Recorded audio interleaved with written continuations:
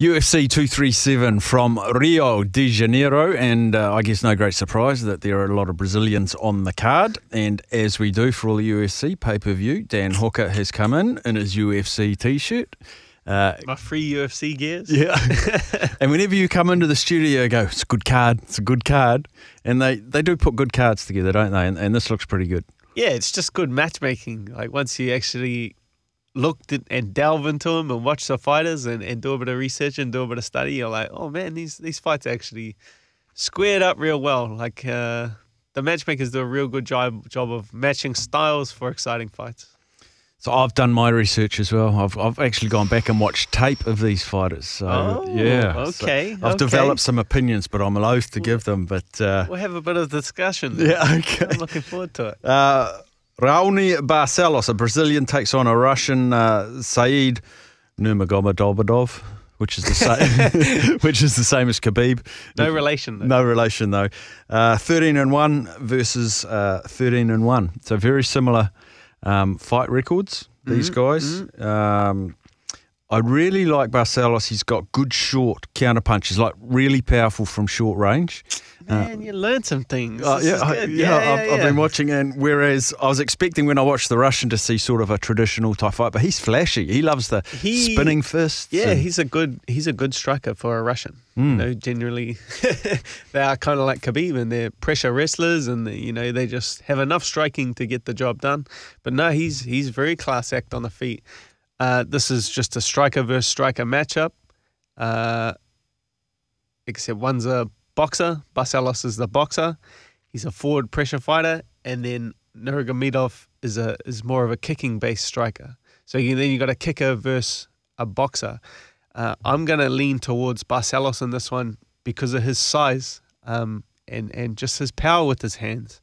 His 54% of his wins are via knockout, whereas Nurmagomedov, the Russian, 54% of his wins are via decision and he's moving up from flyweight as well. So he's uh, spent majority of his career at flyweight, and now he's had one fight up at bantamweight. He had some uh, good success in his last matchup uh, at the bantamweight division, but I feel like Barcelos is just going to carry too much power for him and and going to be able to dictate where the fight takes place. So I think Nurmagomedov uh, will do a good job early, but but that power advantage will take advantage. Uh, I think he just controls the fight. I don't think Nurmagomedov gets knocked out. I just feel like Barcelos controls the fight with his power and his size. Win by decision to Barcelos? Mm. That's what I had as well. one for one. Let's go. Um, Warlley Alves, uh, a Brazilian uh, Ultimate Fighter winner, uh, Brazil, uh, about four years ago. He looks quite classy up against uh, Sergio Moraes. Uh, is coming off a loss um, eight weeks ago, so a fairly quick turnaround for the uh, Jiu Jitsu black belter. Yeah, so two uh, Jiu Jitsu black belts, two grappler. This is a open with a striker versus striker. This is a grappler versus grappler. Um, most of Alves submissions are from the the one submission, and that's a guillotine choke, which he seems to jump on everyone. He even snatched uh, Colby Covington he got him with the guillotine choke early on in his career. His form as of late has not been has not been that impressive. Whereas Moraes, even though he's, he's you know had mixed results, I believe um, two wins, two losses, or two wins, three losses in his last five fights. He he's looked good even in those losses. Um, in this fight, I'm going to have to lean towards Moraes because he's the better top game fighter in the jiu-jitsu, whereas Alves has used his jiu-jitsu more defensively and, and counter jiu-jitsu, whereas Moraes is really uh, uh, dominant and he's he's done very well dominating other black belts. He fought Ben Saunders and, and just was a class act on him. He was all over him, dominated him, passed his guard, um, and got a submission very early in that fight. So, yeah, I'm leaning towards um, for a submission. Next one, and it sort of makes me sad to say BJ Penn's getting in the cage again. I mean, he's 40 years old. He hasn't won a fight for eight and a half years, uh, six losses back to back. Um, he is taking on a 37 year old in Clay Guida. He, he's three and three in his last six fights. But why does BJ Penn keep jumping in? Well, in this one, I can understand this fight. I didn't like him when they matched him up against, you know, the young prospects like Yair Rodriguez. When I kind of seen that fight, I was like, oh, I don't want to watch this. I don't want to watch like one of the legends of the sport. If I'm going to watch one of the legends of the sport, I want to watch him fight another older legend guy who's on the tail end of his career. And this is Clay Guida. You know, um, even though Clay Guida is still fairly competitive against the newer guys, upstarts uh, in the division. Yeah, three and three, still fighting and competing against very tough and stiff competition.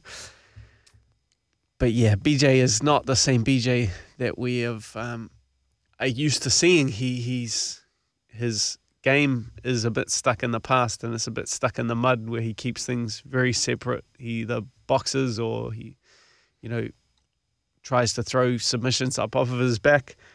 I'm edging this towards Clay Guida in this fight. He's he's always comes in shape. His conditioning is second to none, and BJ's conditioning over the last years has really faltered him. So I feel like Guida pressures forwards, pressures him against the cage, takes him down, uh, avoids him trying to submit him off his back, and picks up the decision. Then we go into the women's bantamweight. Uh, the number 10 ranked Irene Aldana against the number 12 Beth Correia. Um, height and reach advantage to Aldana. Last four have all gone the distance for her, winning her last two. Uh, most recently, UFC 228. Um, Beth Correia last year UFC fight loss was to Holly Holm, and that's you know that's no no disrespect because Holly Holm's handy, and there was a I think there was a head kick that she went down to in that one. So fairly evenly matched these two. Yeah, Correia's. Um, I think she's most recognisable from getting knocked out in 30 seconds by Ronda Rousey Mm. and then getting her head kicked off by Holly Holm. So that's not those are not memories that you want to shoot to people's minds. Uh, 80% of her wins are via decision. She's got 20% um, knockouts, but she's a striker. Beth Correia. Uh, Aldana, 56% of her wins are via knockout. So she's also a striker, but she carries a little bit more power than Correia. Uh, four and a half inch reach advantage coming into this matchup. And just going and watching them, um, Aldana has great footwork and defensively she's very slick, whereas Correia is just a very rudimental. I wouldn't even call her a. There's a difference between a boxer and a puncher. Mm. Uh, boxer has a bit more tactic and a bit more class. Bit more I would, uh, yeah, I would put Beth Correia in the puncher. You know, she punches very well, but she's definitely not a boxer. Whereas Aldana is a is a boxer, very slick defensively, very good footwork. Whereas Correia just kind of likes to plod forwards, plod forwards, plod forwards, swing punches. I think Aldana picks her apart at range, dodges those counter shots, uh, exits out with her great footwork, and, and resets and does it all over again, and kind of cruises to a decision in this one. Then uh, Tiago Moises, Moises, Moises against Kurt Holobaugh. Um, I didn't have time to research these two guys, so I'm leaving it to you. Okay, okay. uh, this is a good fight. Um, two young prospects coming into this. Holobaugh has had a terrible start to his UFC. He's a good fighter. He's a good fighter from good um, caliber.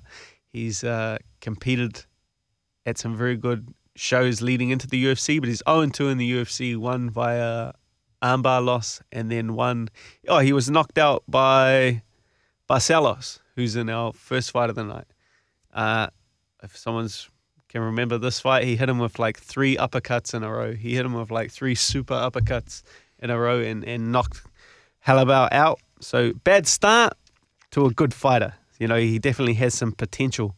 Uh, Moises, 0 1 in the UFC, but the kind of competition he was against in that fight was Beneil Dariush, who's um, one of the perennial contenders in the UFC's lightweight division. And he took him very seriously. He didn't uh, kind of take his head off or, or go to go to get him out of there. He he just really took no risks and he pressed him against the cage and he, he just he's a very good black belt and he managed to out grapple him over the course of 15 minutes. Uh, so Beneil had a lot of respect for Moises coming into this one. I feel like Moises is just the cleaner fighter of the two. Holobaugh's a bit bull in a china shop for me, and he, he tries to take guys' heads off. And You like the technicians, eh? I love the technicians. I love the technicians because you in, in the long run, at the end of the day, like over time, the technicians always win. The bull in the china shops, they're they're like a flash in the pan. They're good for a couple of shows. They're good for a couple of years. then you never see them again. But the technicians will consistently come up over five years, over ten years, over fifteen years. You're going to see these guys and follow these guys. Uh, so I'm definitely going to side with Moises coming into this one. I feel like he's just the more clinical grappler of the two, and he gets the job done via submission. Submission. Uh, Antonio Nogueira against he, he's 42 years old with a record of 22 and 8. Ryan Spann, called Superman, and he's even got the Superman tattoo on his chest. 27 years old on a five fight win streak. He's an up and comer. Yeah, so Spann, he's uh, 60 67% of his wins are via submission. So he's a submission guy, six foot five, which is uh, incredible. He has a six inch reach advantage coming into this one, and he's 15 years younger.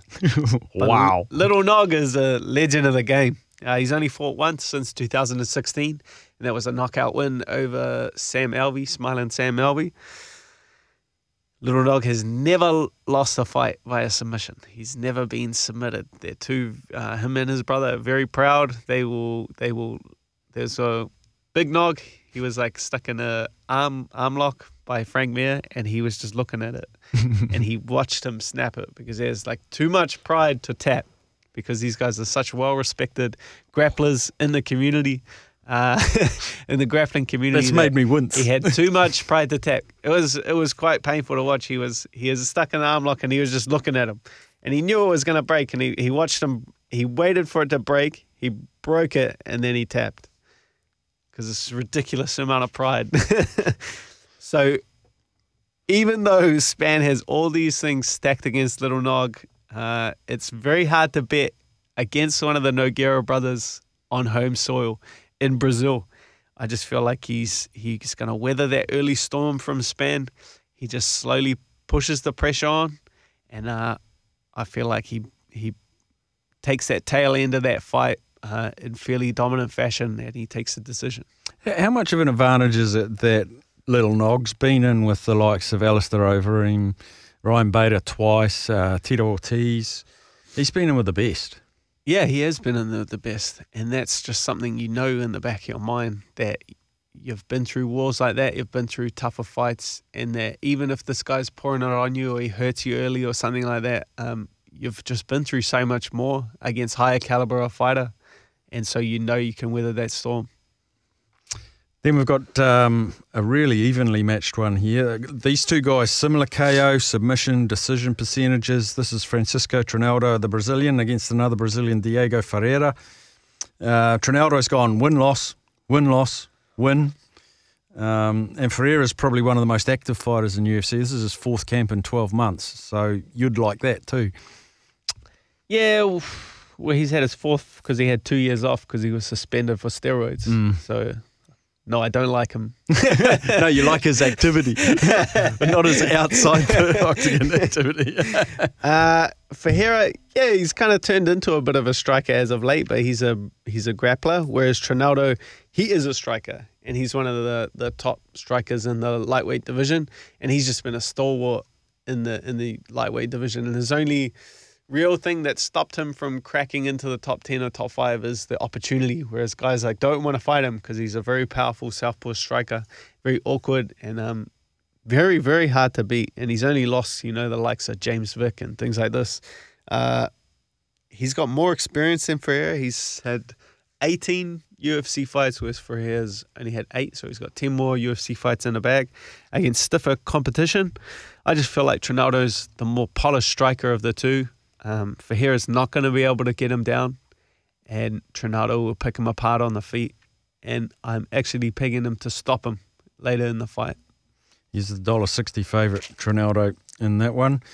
Um, Tiago Alves got a heap of experience. Um, price wise, this fight, he's, he's up against Laureano Staropoli. Um, but Alves returned to the winner's circle, beating Griffin in February. Um, it was a welcome return to a, to winning because his career was a bit 50 50 there. Yeah, well, he's a former title challenger. I believe he um, challenged George St. Pierre for the title uh, a few years ago. Yeah, 25 UFC fights, 15 wins, 10 losses. Uh, striker, 57% of his wins are via knockout.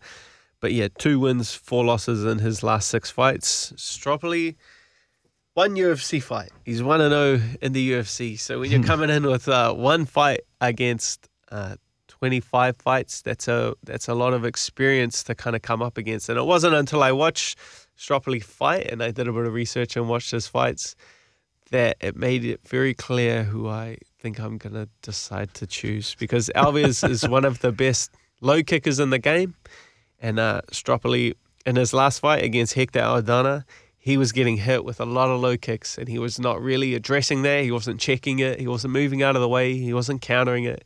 He was kind of just eating them. And that's against like a lower tier striker. So now he's fighting one of the most experienced guys, one of the best low kickers in the sport of MMA. And he doesn't address that low kick. I feel like Alves is going to take his leg off and actually stop him. That'll be a TKO. That'll be a TK. Then we've got uh, one of the greats, Jose Aldo. We talked about um, past fights for some of the, the previous fighters. This guy's been in with McGregor, Edgar, um, actually Holloway twice. Um, he's had two wins since a, a couple of losses, Jose Aldo. Uh, he is a slight favourite against an Australian. We've talked about win streaks. 16 fight win streak for Alexander Volkanovski, uh, the Aussie. He's the slight underdog. Last lost six years ago. Yeah, he's training with us at the moment. He's training with us at uh, Excellent. at City Kickboxing. Inside. Yeah. so I've been in the gym with him, uh, training every day. He's training very hard. And uh, he's just a different kind of pressure. And more in this fight is the momentum that he kind of has behind him. I've never, you know, just the, the hunger that he has as a fighter. And you can see that in his last fight against Chad Mendes. Like he was rocking Chad Mendes. He just took the fight to Chad and he just made Chad quit. And then even after that fight, Chad retired because he was just like it was very clear to him after that fight that he just didn't have a heart for it anymore even though the skill is there you know the skill level was even uh, even against Volk and Chad it just came down to who wanted it more and he he showed Mendes that he's just hungry he's a hungry young lion and he's coming for these legends uh, Aldo he's a striker very good takedown defense um, I would class him as a striker. I would class Volkanovski as a wrestler. Uh, he likes to come out, throw some very heavy hands, but he's also he's constantly shooting him for the takedown. But it's not really to hold a guy down. He just likes to pressure and he just likes to make you tired. He just really likes to put a pace on a guy that just breaks him. And I feel like Aldo's not going to be able to handle the kind of pressure that Volkanovski brings to the table. You know, he's going to come out, get in his face, stay in his face, shoot him for the takedowns. I feel like Aldo's going to scramble back up to his feet every single time, like he does against anyway. But Volkanovski doesn't care. He's going to repeat the same process, and he's in the best shape I've ever seen him in. So uh, I'm picking Volkanovski to stop him in the later rounds. Wow. Shocked, heard around the world. Jose Aldo picks up another loss. Um, and then a guy that, well, we love. Everyone loves Anderson Silva. Um, he's an underdog again. He's only had one win in his last Oh, seven what? fights. He's the underdog in this fight. He's the underdog in this fight. Come off. You don't like that? Come off. One win in his last seven fights. Um, and Jared, Jared Cannonier, Yep. he beat David Branch in uh, UFC 230 in November, having come off two losses. And I think I remember, does my memory serve me right, that you said David Branch is one of your favourite fighters to watch? Uh, Would you have said that? Nah, I don't think so. Okay. He's good to watch, but he's only yeah, he hasn't been in the UFC that long. Anyway, Cannonier four and four UFC record. So he was fighting up at light heavyweight, and then that David Branch fight, I believe he took it on short notice. Yep. He took it on short notice down at middleweight. Um, so for him to change weight class on short notice is quite uh, unusual. He's a big, strong striker, but I feel like he's just been handpicked for Anderson Silva. Uh, yeah, I, I don't understand why he's the favorite. Look, he's an incredibly strong striker. He's a big, powerful guy. He's an imposing figure. Uh, very muscular, very strong, very very in good, very uh, very good shape. But Anderson does very good against these guys, these imposing figures, because you know the more muscle you have, the slower you are, and the easier to read you are. And from what I've seen in the Israel Adesanya fight, was Anderson Silva is still a very high level striker. Uh, we all know how good Israel is, and he did not take Anderson lightly. And that was a very good fight. That was a very competitive, even contest. I just feel like a guy like Cannonier has been handpicked by Anderson Silva's management team. Um, he make, needs a win, doesn't he? to make him look good. He needs, he needs a, win. a, win. and I feel like he's going to pick one up fairly easy. Uh, he's going to be able to read Cannonier pretty early on in this fight, avoid his big power strikes. I felt like he's just too slow and too muscle bound for him. Anderson Silva picks him apart and cruises to a decision. Yoo-hoo. We love an underdog. Tip. Underdog. Underdog. I got a feeling you might go underdog here as well because uh, Rose Namajunas is the underdog against Jessica Andrade. Um, interestingly, it's going to be a good night. it's going to be a good afternoon for the bank account. They've both fought. They've both fought um, Joanna Jędrzejczyk. Yep. Uh, Jessica Andrade has lost to her, and Namajunas has beaten her twice. Mm, mm. It's a bit hard to stick to MMA math, though. Just stylistically wise, like, just, just, look at it in isolation. yeah, you, you really have to just, um, yeah, you have to match up the styles. Like they're they're Joanna Jędrzejczyk and then Rose Namajunas are completely different styles. And um, look, Andrade is a big, powerful striker, big, powerful boxer. She's coming over this incredible knockout over Karolina Kowalkiewicz. Uh, first round, knocked her out, took her head off, and in the women's strawweight division, that's incredibly unusual. So it surprised a lot of people. Uh, she's on a three-fight win streak. Claudia Gadelha, Tecia Torres, and yeah, Karolina Kowalkiewicz. Um, Rose also a, a three-fight win streak over Michelle Waterson and then two wins over Joanna and Jędrzejczyk, one via KO and then one via decision. Andrade is a very strong puncher, and she's very dangerous if you stand in front of her like Karolina Kowalkiewicz did. She stood in front of her and she exchanged punches with her. Um, that's where Andrade is most dangerous. But I can't remember a, in recent memory a fight where Rose Namajunas stood in front of someone and just wildly exchanged punches with them she does very well to turning it, turning it more into a fencing match than a fist fight. She won't stand there and exchange with you because that's not where her skill set relies. She has a very good jab to keep fighters on the outside, and she has incredible footwork. Um, probably the best footwork in the entire division.